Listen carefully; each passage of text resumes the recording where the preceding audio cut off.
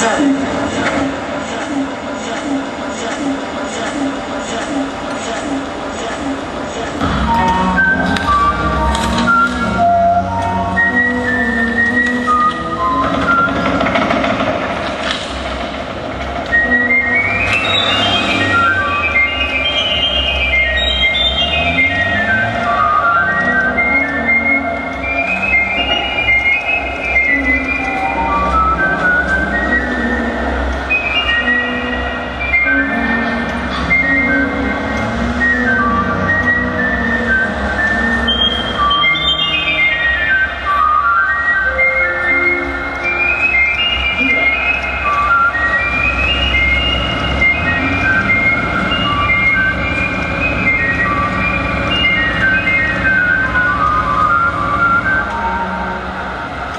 Willkommen an Bord. Bedanken wir die Personenschiffe Baton gewählt zu haben, um auf dieser Flugreise über Gibraltar und Paris zu entdecken.